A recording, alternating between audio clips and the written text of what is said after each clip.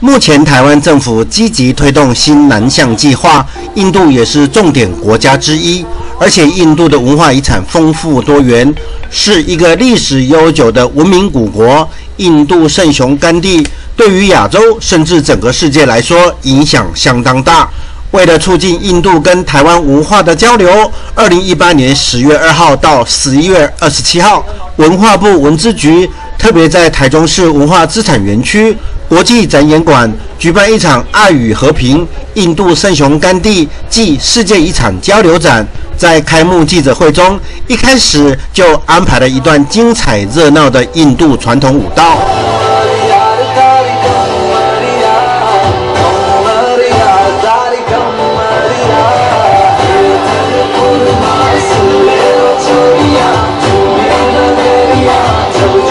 文化部文资局表示，这场印度圣雄甘地暨世界遗产交流展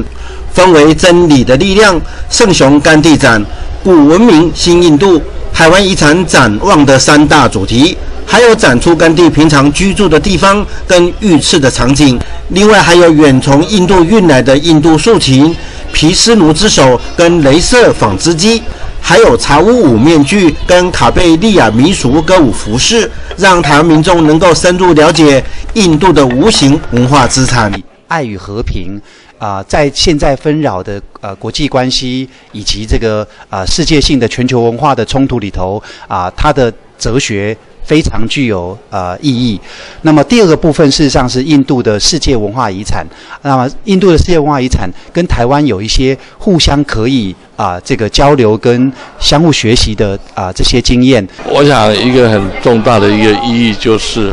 我们跟印度的这种外交关系，我们希望先从文化先行，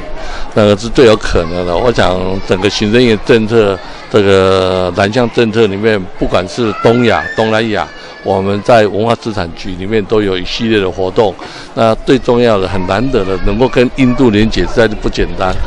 在今天的这一场开幕记者会当中，文化部文资局还特别邀请甘地博物馆馆长、印度台北经济文化中心、台湾印度博物馆等单位参加。今年的十一月七号，还要举办台湾与印度世界文化遗产保存及经营国际论坛，希望加强台湾民众对印度历史文化的了解，体验更活泼的古文明新印度。记者陈文旭、杨静台中报道。